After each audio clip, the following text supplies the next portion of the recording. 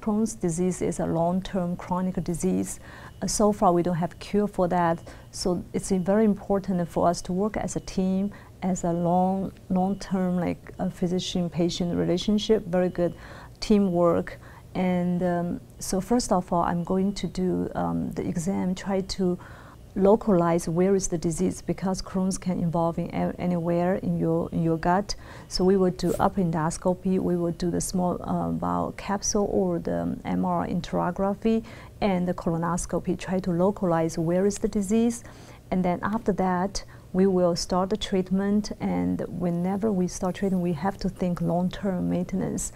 Maybe you already heard steroids, but this is just short-term. This is not long-term maintenance treatment. We have to come up some long-term plan to make sure we can bring you into deep remission.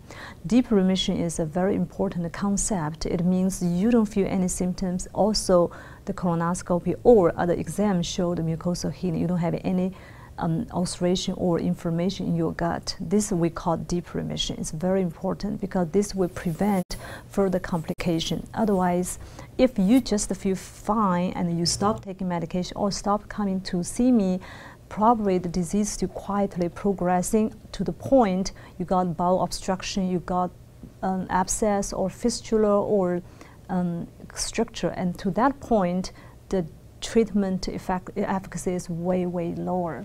So I want to emphasize proactive treatment is really important. You have to understand this is long-term uh, disease.